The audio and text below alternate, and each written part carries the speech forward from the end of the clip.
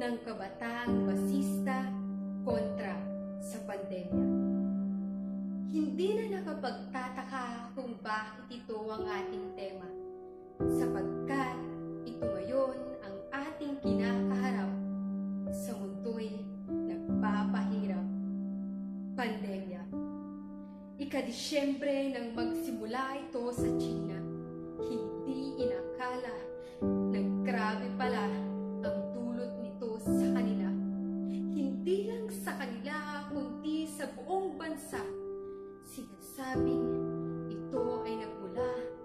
sinabawang paniki.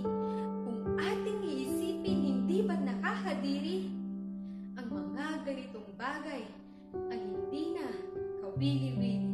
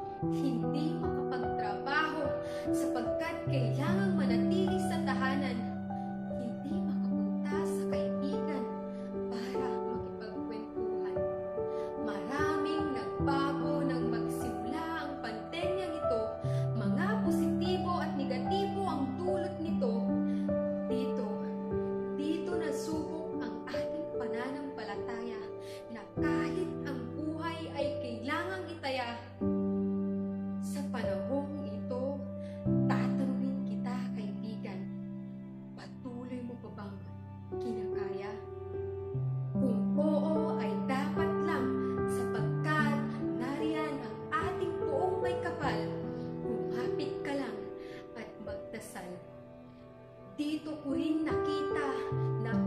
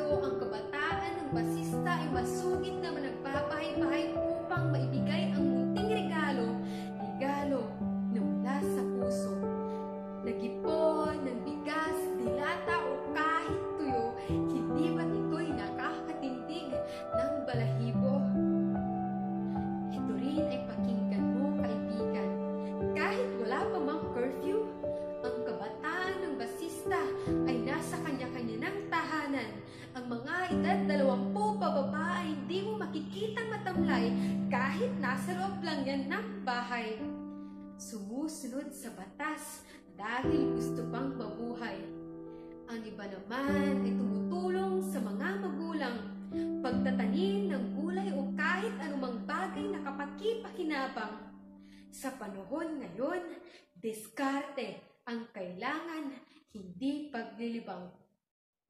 Mayroon ding mga kabataan na online seller.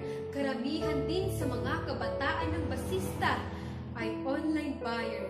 Sa panahong ito, utak ay paganahin kung ayaw mo itong kalawanin.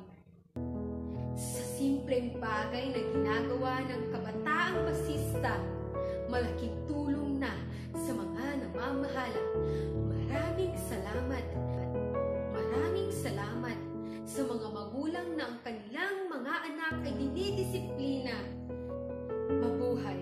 Mabuhay ang kabataang nagbabayangihan sa panahon ng pandemya, lalo na ang kabataan